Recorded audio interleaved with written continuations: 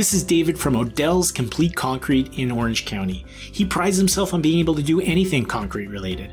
But when his two sons finished junior college in 2016 and wanted to join the business, he knew he had to find a way to market his company so there would always be enough work to support him and his boys because when David was their age, he joined his dad in his business, but there wasn't enough work to support them both, and David was forced to go out and make it on his own, and he wanted to make sure there was a more secure path for his kids. David does great work, and his sons realized that if more people knew about Odell's quality work, the company would always be busy, especially in the affluent community of Orange County.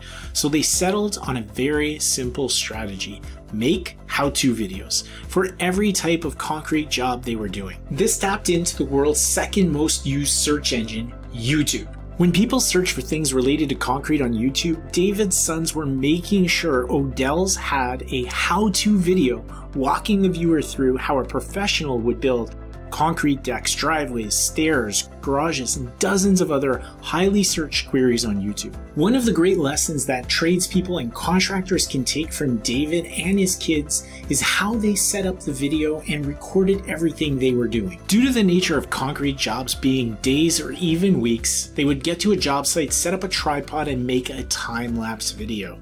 Then they would speed up hours of video into just minutes and explain what they were doing by overlaying audio. This made the process of making videos simple and easy for them, allowing homeowners to find their videos by answering frequently asked questions.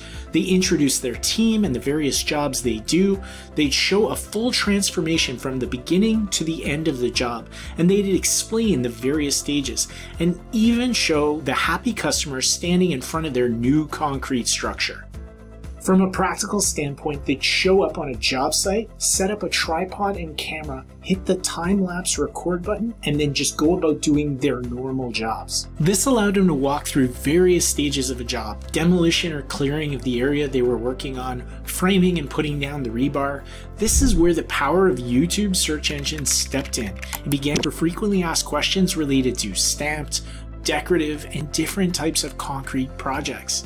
As the videos began to be shown and prospects and future prospects in Orange County started watching the type of work that David and his team could deliver, their phone began to ring with homeowners that wanted to work with them. Prospects would tell David how many videos they had watched, and they would even highlight the video they watched that had a project exactly like the one they wanted him to do. Prices become less of an issue as homeowners are willing to pay a premium to work with David. After binge watching his content, he's viewed as a local celebrity, concrete crew in his area.